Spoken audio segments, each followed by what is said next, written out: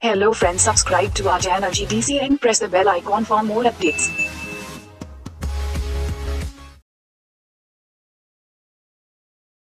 Now, different drug act in GABA A receptor. In this GABA A receptor, various drug act at different location. So, which drug act at which location and what is the mode of action of that drug? I'll discuss here. First drug here is GABA. As we have discussed, GABA. So, so GABA, where GABA will bind? GABA increases chloride and conductance by the increasing duration, opening duration.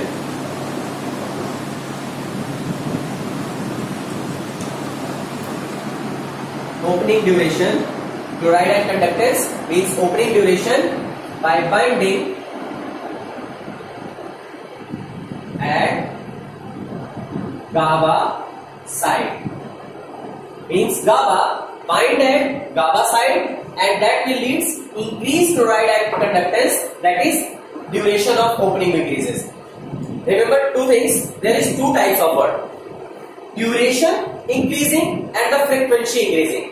When any drug increases the duration that will means time and when we use the frequency that means the number of opening of channel will be increases, not the duration. So this is the main difference. First drug here is GABA Second drug is benzodiazepine. So what will happen? Benzodiazepine means shortly we can write it. BZD, benzodiazepine. Benzodiazepine increases frequency of chloride ion channel opening. And where it will bind? It will bind in the benzodiazepine binding site that is present in the alpha gamma sub interface. Your next drug is barbiturate.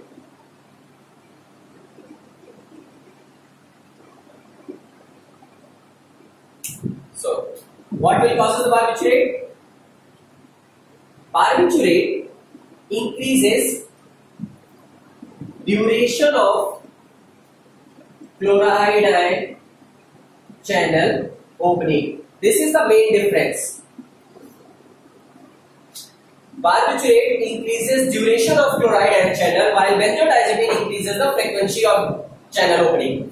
There is a question asked that which of the following means benzodiazepine and bar- barbiturate which is the GABA mimetic action? That means barbiturate can increase or the duration of channel opening as well as it can directly stimulate the channel opening. While benzodiazepine cannot open the channel, it only increases the frequency of channel opening. That is the main difference. Your next drug is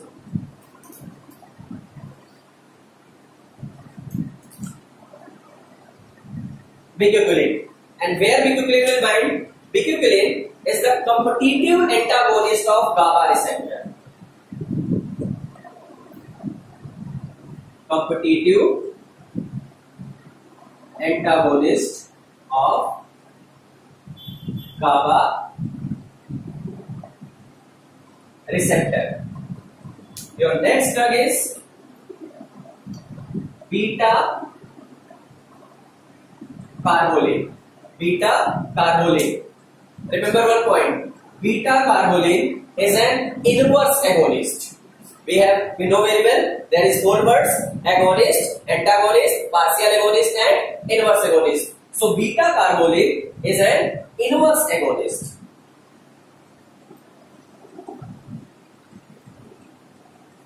Inverse agonist of GABA receptor. Then your next drug is picrotoxin. So where will be picrotoxin at? Remember one point. GABA bind at beta subunit, barbiturate bind at alpha beta subunit, benzodiazepine bind at alpha gamma interface. Means these channel can regulate the GABA receptor from the above view.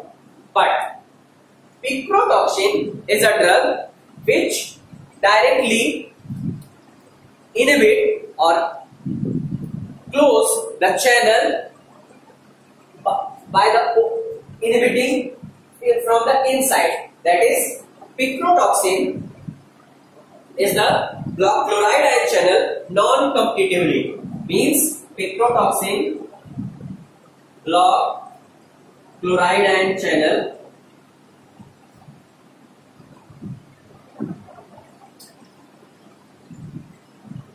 non-competitively. Your next drug is flumazenil. Flumazenil is an antagonist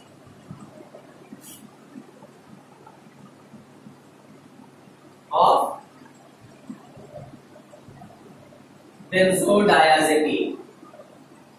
Antagonist of benzodiazepine. That is, flumazenil is also called as antidote of benzodiazepine. And there is one more point.